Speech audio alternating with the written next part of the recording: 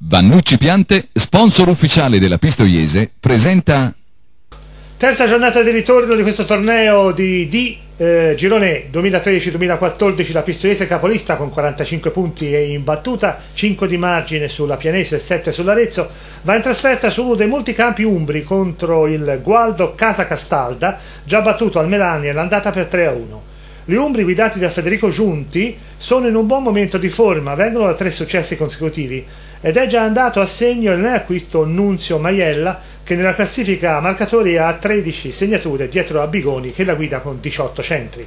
Un impegno ostico quindi per i ragazzi di Moggia che saranno privi dello squalificato addirittura 5 giornate, Nocentini. Il effetto dell'abito Massimi è stato severo e parla di uno sputo che Nocentini avrebbe indirizzato a Carfora dell'Arezzo che era a terra nella partita di domenica scorsa a Pistoiese Arezzo. Vedremo se ci saranno margini per il ricorso della Pistoiese. Comunque al suo posto Morgia inserirà Varutti con il resto della formazione che dovrebbe essere confermata anche se Mini Cleri appare in un ottimo momento di forma. Da ricordare anche la lunga lista degli fidati che comprende sei elementi della rosa, vale a dire Buglio, Toledo, Bigoni, Sambo, Giovannelli e Collacchioni. L'occasione della trasferta a Gualdo vale anche a ricordare uno dei giocatori che hanno vestito la maglia arancione nel periodo d'oro che culminò con la promozione in Serie A, vale a dire Nello Saltutti, nativo proprio di Gualdo, prematuramente scomparso nel 2003.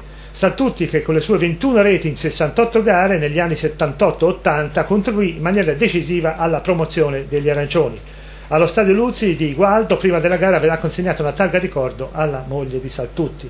Quella triste e ancora irrisolta vicenda di un presunto doping e di mix di sostanze illecite combinate a diversi giocatori in quegli anni 70, parecchi dei quali già scomparsi, Petrini, Saltutti, Ferrante, Beatrice, Rognoni, Borgonovo, Signorini, Rotella, Lombardi e ci fermiamo qui, ma ce ne sono molti altri, con Cesena e Fiorentina le società più colpite, ma sulla vicenda eh, c'è ancora molto da chiarire, nonostante l'impegno da anni del magistrato Guarinello.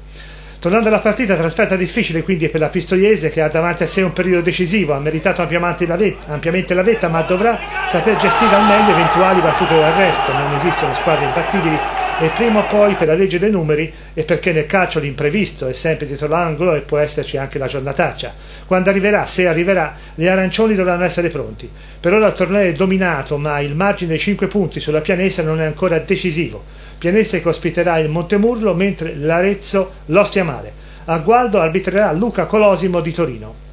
Dopo 30 gare senza sconfitte nel campionato regolare, a parte quindi l'unica sconfitta col Santian nel post torneo dello scorso anno, è arrivata la prima eh, sconfitta dell'era Morgia. Sembrava me lo sentissi il passo falso, sensazioni dovute all'esperienza e a piccoli segnali. Oltre che alla legge spietata dei grandi numeri, dopo sette vittorie consecutive è arrivato il pari contro l'Arezzo e ora lo 0-2 contro il Gualdo che ha la quarta vittoria di seguito. Come spesso avviene nel calcio, anche episodi poco fortunati possono concorrere al risultato e gli arancioni ne hanno avuti durante la gara.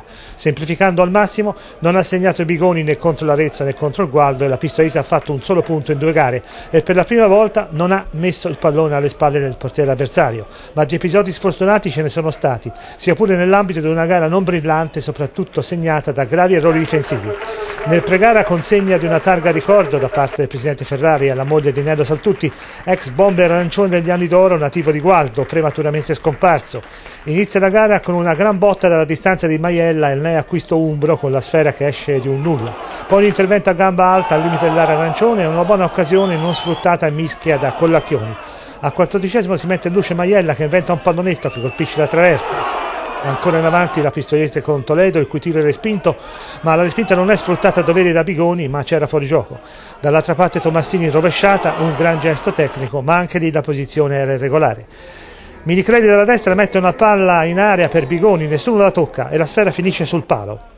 Al 41esimo passa il Gualdo grazie a un errore di Varuti che colpisce male il pallone a seguito di un lancio da centrocampo di Goretti, un pasticcio difensivo tra Varuti e Collacchioni e Tomassini mette in rete. Ripresa al primo Bigoni a una buona palla, ma un rimpallo fortunato tra Zanchi e il portiere Di Nardo evita guai per gli Umbri. Morgia fa uscire Bigoni e mette De Angelis. Ventunesimo, altra azione sfortunata per la Pistoiese quando Giovannelli colpisce in pieno la traversa a tu per tu con Di Nardo e quattro minuti dopo c'è il raddoppio del Gualdo, sempre opera di Tomassini che riceve una palla da Maiella dopo un rinvio difettoso della difesa arancione. Non c'è più né spirito né forza per rimediare e arriva la prima sconfitta. Il caso ha voluto che la Pistoiese colpisse due legni poco prima di subire i due gol. Sia pure con il risultato negativo, gli arancioni hanno dimostrato anche stavolta di arrivare spesso in zona gol, questa volta però non è andata. Nulla di irreparabile anche se il vantaggio sulla seconda, la pianese è ora soltanto di due punti, ma in media inglese sono sei. Anche il Foligno si è avvicinato mentre l'Arezzo è stato fermato in casa sullo 0-0 dall'Ostia Mari e ha confermato, semmai ce ne fosse bisogno, di perdere poco ma anche di non saper sfruttare le giuste occasioni.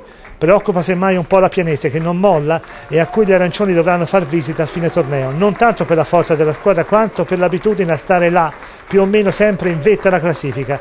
Negli ultimi quattro anni ha vinto un campionato proprio superando la Pistoiese, poi due anni consecutivi ai playoff e lo scorso anno al settimo posto a media inglese zero, avversario abituato e di valore quindi. Niente di male, sotto con due impegni consecutivi al Melani contro Colligiana e Narnese, con in mezzo la sosta.